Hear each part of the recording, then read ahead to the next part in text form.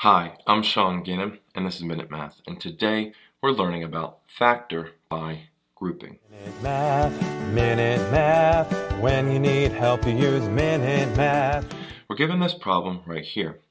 49x to the third power minus 35x squared plus 56x minus 40, and we want to factor this completely.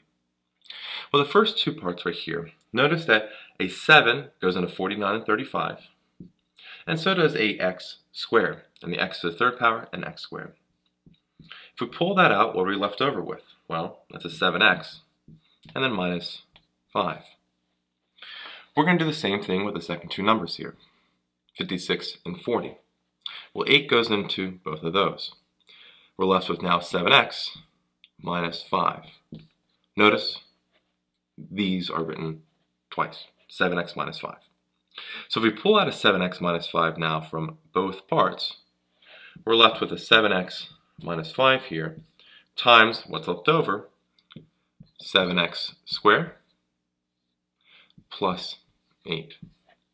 And now we actually have our final answer, 7x minus 5 times 7x squared plus 8. I hope this video was helpful for you, and if it was, please subscribe to this YouTube channel and like this video. This helps us make more free math lessons for you and for everyone else. So as always, thanks for watching. Minute Math, Minute Math, when you need help you use Minute Math.